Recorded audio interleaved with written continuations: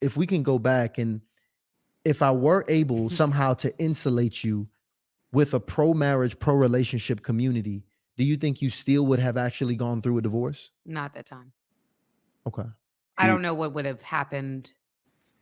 Oh, I've never said this publicly.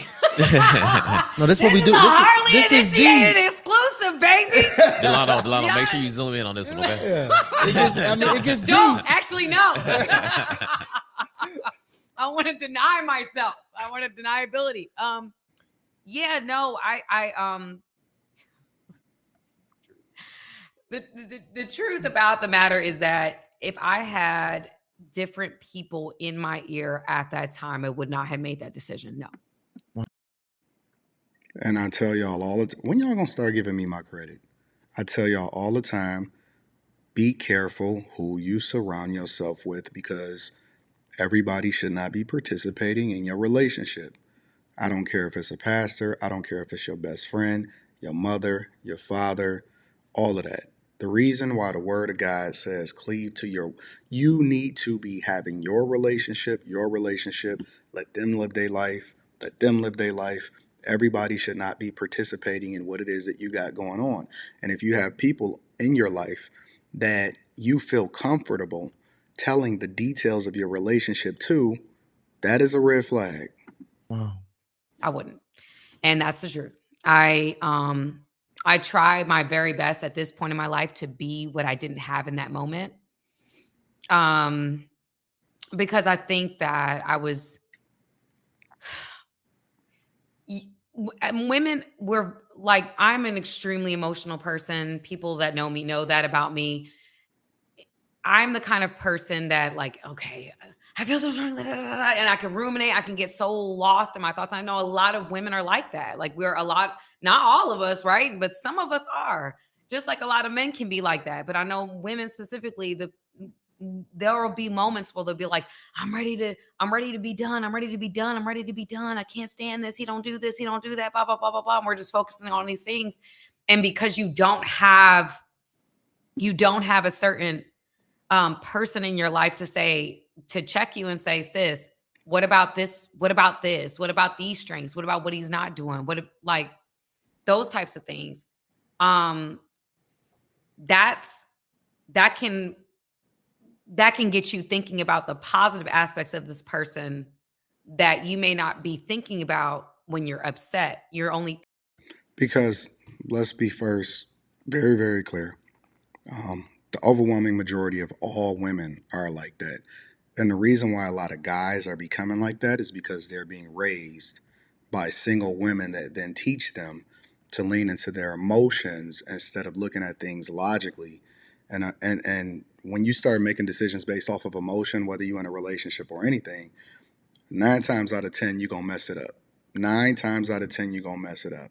And so what she's basically saying is that she's a reflection and now her life and her relationship as far as being a divorced single mother is now a, a, re- a reflection of the community that she serves and the people that she surrounds herself with. And so the people that you come into the game with right and even the people that you're spending your time with before you even get into a relationship. That's why I say that one of the red flags for a woman is to look at her friends and look at her people that she surrounds herself with, her mother and her and her community. Because they are largely going to influence her or have influenced her as far as what her mindset is towards that relationship. When the love wear off, when all of the butterflies and the honeymoon phase go off and you got to actually be with the person, they're going to let you know who they are. So what you think you vetting for as far as what the things that people are saying online is not the thing that you should be paying attention to as far as a relationship. Because she's a nice looking woman but no matter how nice looking she is she's taking him to the cleaners she's washing him uh, according to what was being said by tyrese in previous posts and things like that for for a child support and everything is going south right?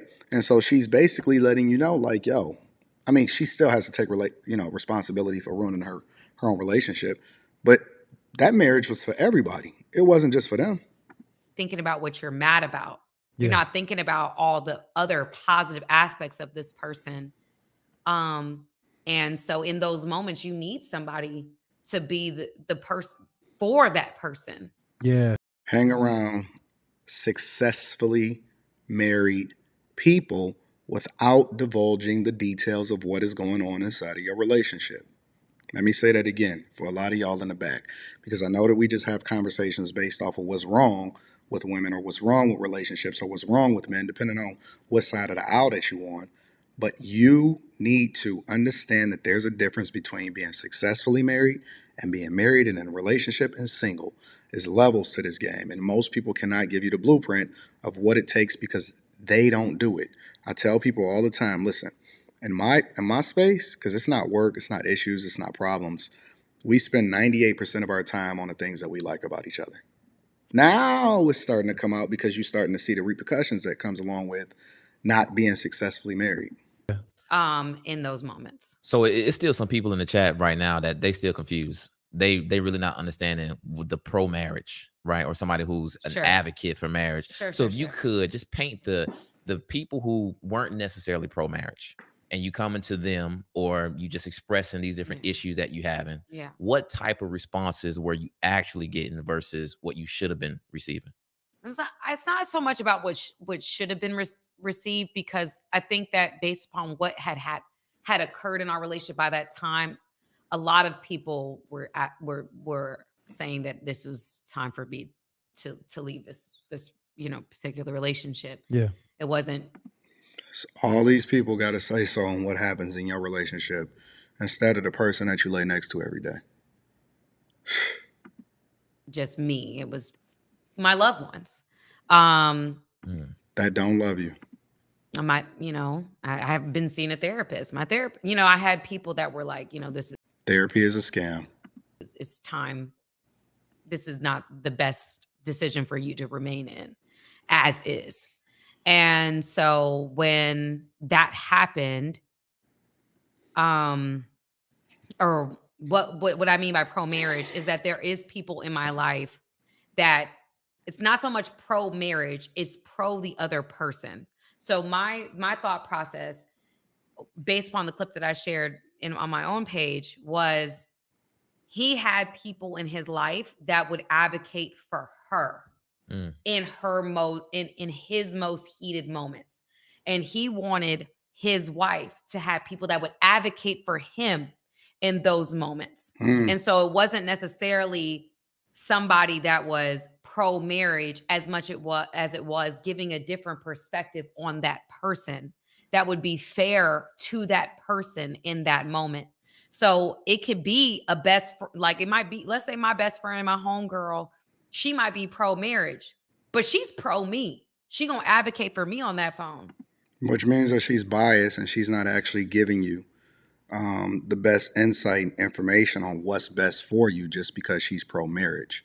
Just because she's pro marriage in general does not necessarily mean that she's advocating for you or giving you the best advice because she's not able to remove herself from it and hold you accountable because it's not really your best friend.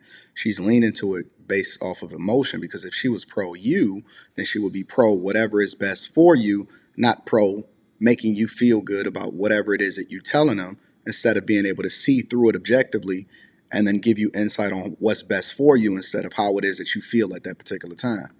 I'm talking about somebody that maybe maybe it's his sister. Maybe it's his mom. Maybe it's somebody that can maybe not the mom. I wouldn't to do the mom, but like somebody else in his life that could that could advocate and speak to him that Mhm. he has designated because that's what this guy did. He had designated certain people that when she's that upset and she needs an ear, she's not just talking to friends, her own friends who are going to advocate for her, but more or less somebody that's going to advocate for him in those moments and be able to be a voice of reason for him when she's not hearing him. That's what he was asked. That's what he was saying. And that's what I think that I didn't have. I had people that were in my life that were advocating for me. And that's not a negative thing. Yeah. Yes, it just is. was at the time being so hurt, so emotional, just being in my feelings, making a move. I didn't And then all they saying is, girl, you need to leave him, or I can't believe he did that. And now you sullying his reputation and the views of other people. and it just gets super messy and it's so dumb and it's all based off of how you see things it's based off how you react to it and then you just ultimately get to a space where the smallest detail or the smallest thing is the thing that drive you up the wall that then is the needle that broke the camel's back and the next thing you know you got a broken up family and you left a situation that you regret leaving as admitted uh, at the time that you did it and it wasn't best for you and where's all of those people and all of your friends that was advocating for you are they going to then make sure that you're taking care of little man man or little little little little girl. No, they know where to be found. But they was your community though, right? Didn't necessarily have that, nor did I make space for that. And so I would say to a woman that's highly upset, that's highly emotional, it's like, you know what, I'm done. I'm about to call the he did this, he did that again, blah, blah, blah. You go, go. No, no, you're not, you're actually not ready to do this. Mm. You being at this space of emotional intoxication, you're making a life changing decision. You have absolutely no idea what you're about to walk into. So I you should actually sit down, chill out, relax, call somebody that you know, watch one of your favorite shows, walk around, do something different and then come to a place or call somebody. I know in my own life and in the women that I've worked with for a very long time, they know that they can reach out to me like, sis, I'm, you know, my husband's doing X, Y, and Z. Can I, can I? And now she a relationship coach. women need to stay away from other women. Y'all are ruining each other all across the world. God, I can't believe what y'all doing to each other. It's unreal. Can I reach out to you? And I'll they'll reach out to me and we'll sit on the phone. I'd be like, no, you're wrong. Are you ready here? What she need to be telling them is now don't reach out to me, reach out to the person that you land next to. And check your attitude. Make sure that you got a good spirit when you go in the door and fix that junk. Go and fix it because it's better over there than it is out here. It's snakes in the grass out here. You're wrong. You actually should be doing this. You actually should. And they tr- they've grown to trust me because they know that ultimately mm I'm gonna say when somebody is wrong, but I'm gonna give you a perspective that is not going to break the family up mm because I am experiencing a broken family. And that's unfortunate because I say it all the time. Why are y'all reaching out to people that's now no longer a, no longer in a marriage, and then B, is not successfully married and didn't experience an successful, a successful marriage in order to get insight on how you should be moving.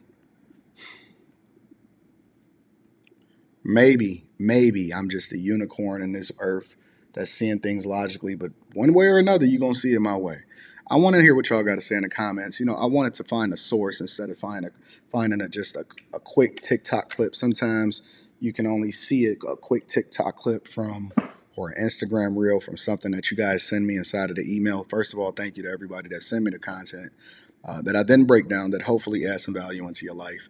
Um, but I wanted to find the source. And so often at times I do a little bit of research or I do a little bit of digging to find out exactly where the source came from instead of what somebody clipped up because I don't know how they clipped it up and I don't know, know what additional context is in it in order for us to be able to have this conversation, right? But everybody can give you advice. And just because they love you in one sense of your life or they was raised with you does not mean that they have your best interest at heart or they know what to tell you um, when you then graduate and go into a different season of your life. Everybody got a different season uh, or play different roles. And so you may be able to be cordial and cool with somebody, but that don't mean that you should tell them all of the intimate details of your relationship because they're to ruin your life. All right. Let me know what y'all think in the comments.